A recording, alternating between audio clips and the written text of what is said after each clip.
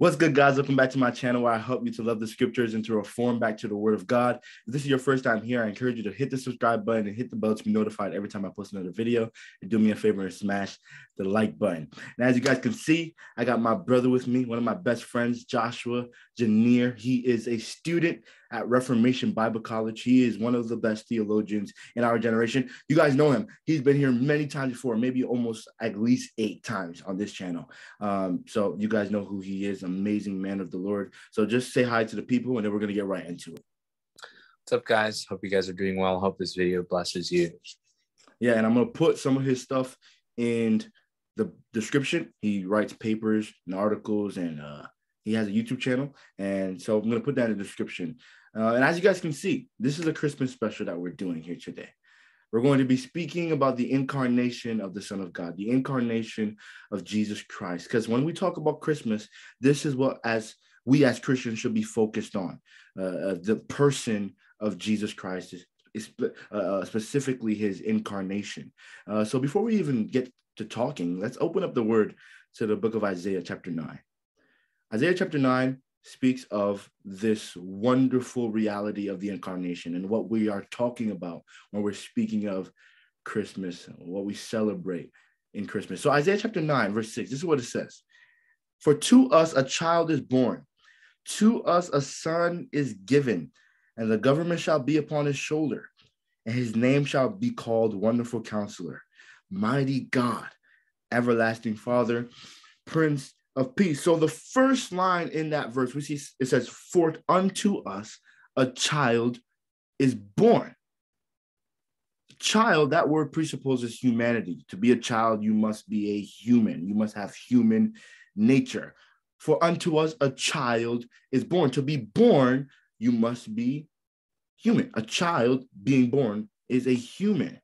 But we see later on, I'm gonna skip where the the the the titles of one wonderful counselor, I'm going to go right to mighty God. It says that he is mighty God. So we see this amazing paradox and mysterious thing where a child, like I said, who is a human, is also called mighty God. How can this be? Because we know that to be divine, you cannot be created. But the world word child presupposes creation. So if you can reconcile that for us in your best way possible, because this is a topic that is very mysterious in nature. It's very profound, very amazing, um, beautiful when you come to understand. But Isaiah 9 6, unto us a child is born, and he is also mighty God.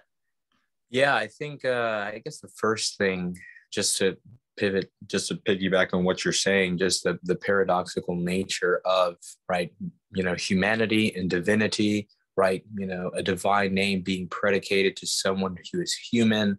You know how do we reconcile that? And i think when we do theology especially when we talk about you know our you know our theological topics like such christology we have to acknowledge the distinction between creator and creature there's such things, even though revelation comes to us that we may know God and love Him, there's things contained in sacred scripture that we will never exhaust the bounds of. And this is commonly what the Reformed Orthodox call the distinction between ectypal and archetypal theology.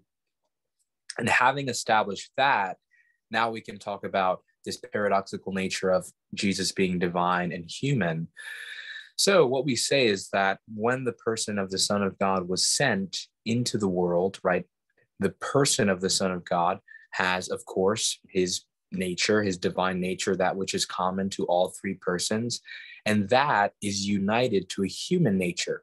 So, and this, and we're going to talk about the Chalcedonian Creed, this union is done without mixture, without confusion, without confounding, but the two natures are united to the one person of the mediator or of the son and and i think that's just just distinguishing the natures knowing that the that the the human does not blend with the divine the sure. divine does not blend with the human.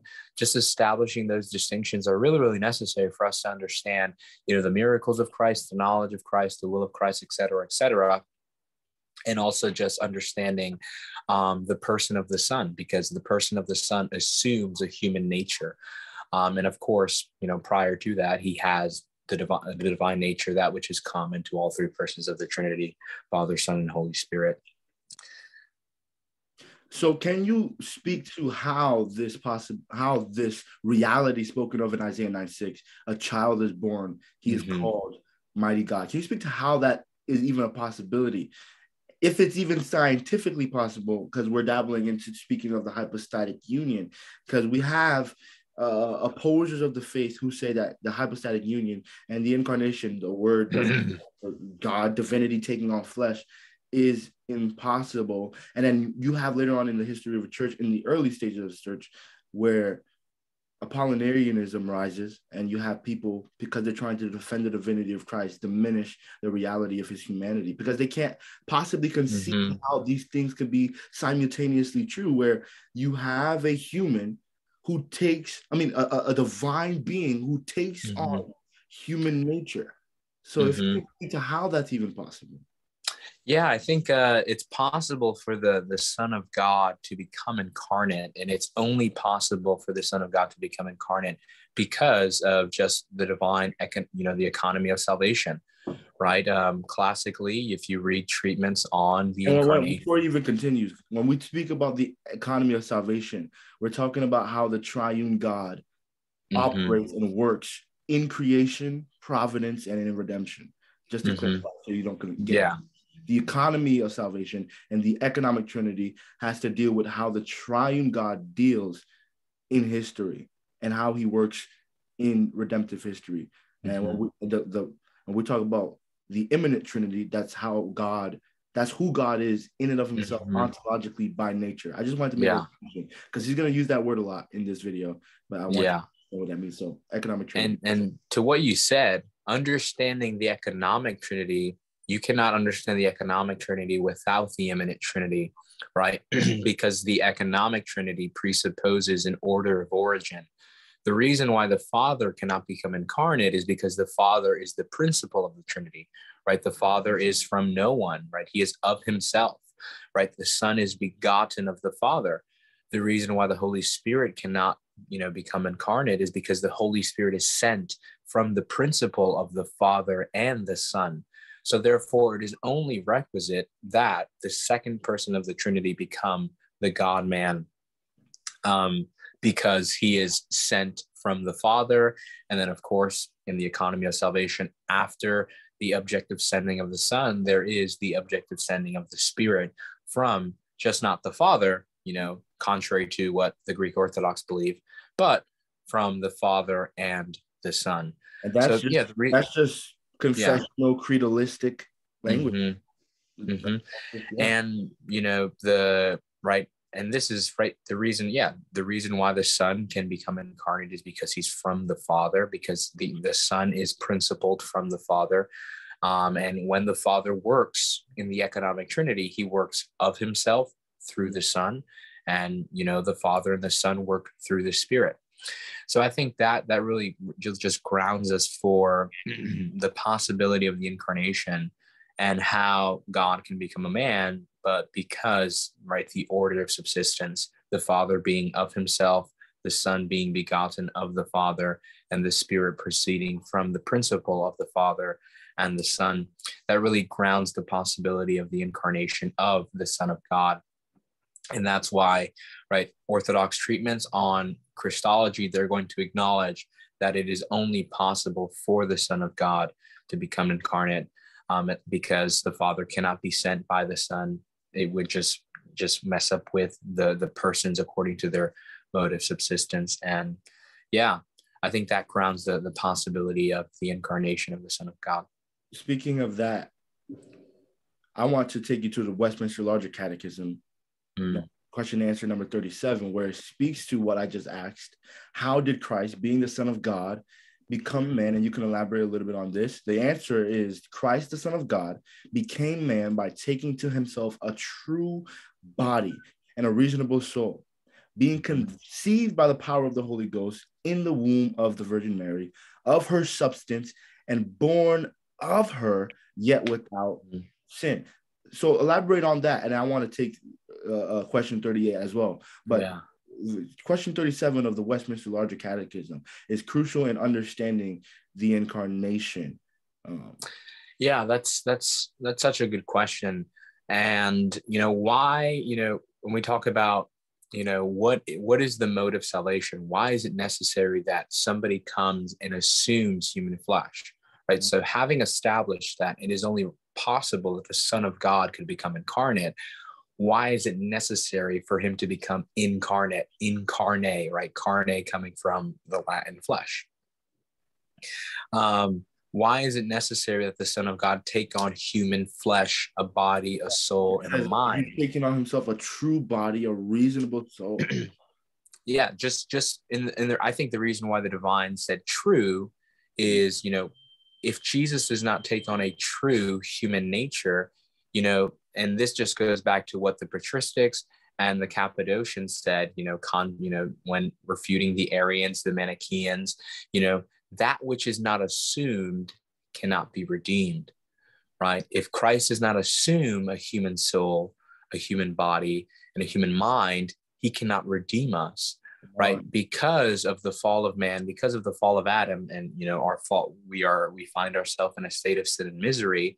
It is requisite that just it's not just it's body, soul, and mind that need to be redeemed. Mm-hmm. So therefore, the mediator must assume a true body, yes, a true soul and a true mind because those are the faculties of human nature that needs redemption and that that's really why why the divines and you know chalcedon um, nicaea and just you know high medieval treatments and reformed orthodox treatments are going to emphasize that word true veritas. Like he takes on a true human nature because you know you know contrary to the arians that christ is just this human being that is the highest human being.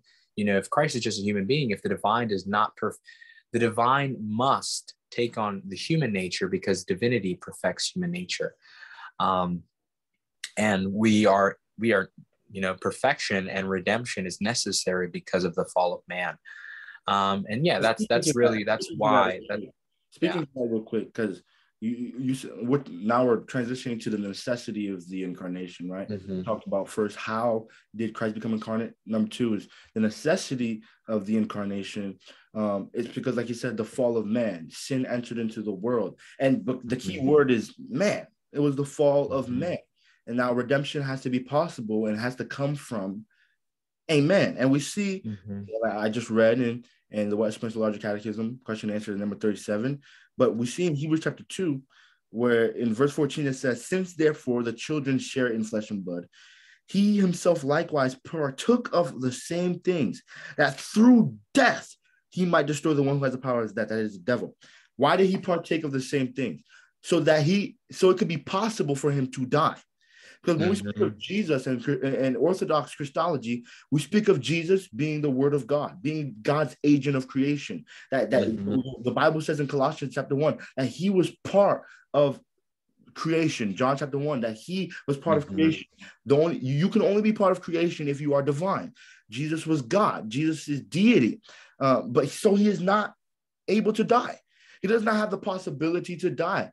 If you are divine, you cannot die. That um, theology 101 theology proper 101 the, this is the, the, the reality that if you are god you are eternal there is no possibility of death within you mm-hmm. so one of the reasons why the incarnation was necessary was so that jesus could die on behalf of man mm-hmm. this is why i said he partook of, partook of the same things that through death he might destroy the one who has the power of death that is the devil if you wanted to continue to speak about the necessity of the incarnation. Yeah and yeah just the necessity of the incarnation goes back to what i just said previously just the reality of the fall of man you know you know adam found him you know and, and this is like tr- traditionally when we talk about uh the, the necessity of the incarnation we talk about whether or not it was requisite that the mediator become incarnate if man had not sinned. I think I can't really say. I, I, I guess for myself, I can speak dogmatically that I do not believe if Adam had not sinned, it was requisite for the mediator to become, you know, you know, incarnate. But there's, you know, high medievals like William of Ockham who believe that it was requisite that the mediator become incarnate if man had not sinned. And then we also talk about was it necessary for specifically the Son of God to become incarnate? And I think we've we've treated that that it is only possible that the Son of God be sent because because it is consistent with his mode of, mode of subsistence in the immanent Trinity. And then um, the third, was it necessary that God, right, that that our mediate that the mediator be a God man? And I think that's what you're talking about. And yes, it is necessary for God to become incarnate, the second person of the Trinity, because right, all men descend from Adam, right? All men have sin. So therefore, it is impossible for one man who descends from Adam, right, according to ordinary generation, right, to take on the sin of the world because he has his own sin to, right, um, to atone for. But the Son of God, who descends from Adam via non-ordinary generation because of the, the, the miraculous birth, the virgin birth, mm-hmm. it is possible for him to take yeah. on the sin of his people, right, the elect, or we can say the world, right, it is possible for the Son of God to take the sins of the world because he descends via non-ordinary generation, right? He is not he Christ does not have original sin, right? He has a true human soul, body, and mind, but without sin. He assumes a, a perfect human nature. And but but and why is it requisite that God become incarnate? Because God is the one who saves sinners. Before you Revelation to that, yeah. I want to say this before I even forget. And you brought up something very important, very crucial to understand the incarnation mm-hmm. is the necessity of the virgin birth, the, the miraculous nature of Jesus's birth. That's mm-hmm. necessary mm-hmm. because like he said, why was it even requisite? Why was it even ne- necessary for Jesus to become man? It's because the fall of man through humanity's federal head Adam. We see Paul say in Romans chapter 5 that all men died in Adam, that because of Adam's original sin, all men inherited a sinful nature. All of Adam's posterity inherits a sinful nature. This is why David says in Psalm 51 In sin did my mother conceive me. Um, mm-hmm. We are mm-hmm. we inherit a sinful nature from Adam, and this is why it's important that Jesus did not have an earthly father. That Jesus is generated from all eternity, from the essence of the Father, conceived by one who is divine, the Holy Spirit, and born not of, like you said, not of ordinary generation. He's not born. He wasn't begotten like we are. He's begotten unordinarily. He was born of a virgin. So he does not descend from Adam in the way that we do. He descends from Adam unordinarily. Um, and that's important mm-hmm. because if he descended from Adam the same way that we did, we would be going to hell right now because he would have to have the, inherited a sinful nature as well. But because of the reality of the virgin birth, he did not descend from Adam the way we do. He's not generated the way we are generated. Um, that's important in understanding the incarnation that Jesus is sinless. Uh, he has to be sinless um, in order. Yeah, yeah, and, and back to back to you know why was it requisite that that our mediator be a God man, right? Mm-hmm. Yeah. It's it's necessary for the mediator to be man because God is eternal, mm-hmm. right? Mm-hmm. And then this just goes back to the two natures of Christ, and then there's there's categories that we can work with that we can talk about another time, right? But God, uh, right? So it was it was requisite that Christ take on flesh because Christ, according to his essence, is eternal, right? So therefore, right, you know, God cannot be subject to, to death. But it was requisite that the mediator be God because God is the only one who can vanquish death. Mm-hmm. So there's and so there's necessities on both sides. On the divine mm-hmm. side, you know that which is divine only only god can vanquish death right you know first corinthians 15 right Christ has overcome death. He has overcome the grave. You know, he, you know, the grave was, you know, his, he was just, he could not be held by the grave.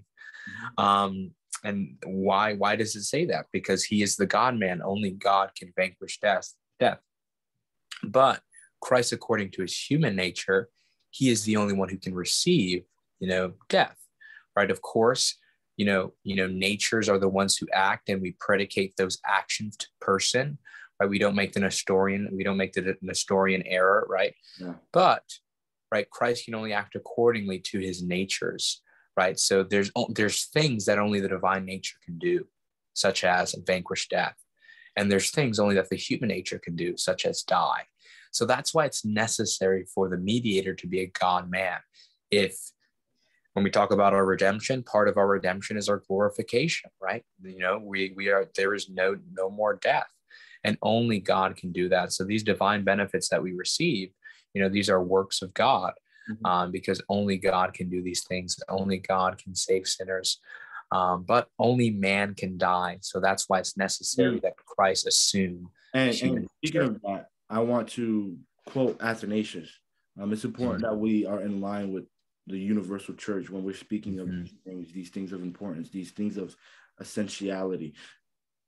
Uh, in his book on the incarnation, Athanasius, I'm gonna just quote him. I'm just gonna read him, and he's speaking of what Joshua just said that uh, it's only God that can save, but it's only man that can die, and this is why the incarnation is absolutely necessary. Athanasius says this in his book on the incarnation. He says, Thus, taking a body like our own, because all our bodies were liable to the corruption of death, he surrendered his body to death instead of all and offered it to the Father. This he did out of sheer love for us, so that in his death all might die, and the law of death thereby be abolished, because having fulfilled in his body that for which it was appointed, it was therefore voided of his power for men. This he did that he might turn again to incorruption men who had turned back to corruption and make them alive through death by the appropriation of his body and by the grace of his resurrection, thus he can make death to disappear from them as utterly as straw from fire. And there's another quote he says, You know how it is when some great king enters a large city and dwells in one of its houses because of his dwelling in that single house, the whole city is honored, and enemies and robbers cease to molest it. Even so, it is with the King of all. He has come into our country and dwelt in one body amidst the many, and in consequence, the designs of the enemy against mankind have been foiled, and the corruption of death, which formerly held them in its power, has simply ceased to be. For the human race would have perished utterly had not the Lord and Savior of all, the Son of God, come among us to put an end to death. And what Athanasius is saying there is what we just said that he is God. As God, he cannot die, but it is only God that can save. But as so, how is he supposed to save us if he can't die? So he assumes a, human body. Athanasius says a lot. The word of God, the wisdom of God, uh, assumed a human body that he might die on behalf of those who were supposed to die because of the law of death. Mm. Um, yeah, beautiful. That's and, really good. And, and, one of the things, and one of the things Athanasius po- pushes as the motif of the incarnation is love. Mm-hmm. One of the motifs of the incarnation is love. That he says, out of sheer love, he did this, assumed a human body, so that he might eradicate the power of death in our lives. And as the author of the book of Hebrews says, he he he he, he strips the one who has the power of death in his uh, in his death on the cross. He he eradicates fear of death in the Christian's life yeah. through his death. And how could he do that? By taking on human flesh, being the God man. As God, he can save. As man, he can die. Yeah, I think I just think of uh one of uh, I just think I think maybe like the best reformational document is the Heidelberg Catechism of just how that's it brings true. comfort. just how it brings comfort to the Christian life. Um, I think of Heidelberg Catechism question answer one, you know, what is your only comfort in life and in death that I am not my own but belong, body and soul. You know, Christ takes on body and soul um, in life and in death to my faithful Savior Jesus Christ, um, who has set me free from the you know the tyranny of the devil. Um, and that's what Christ does. By taking on human flesh.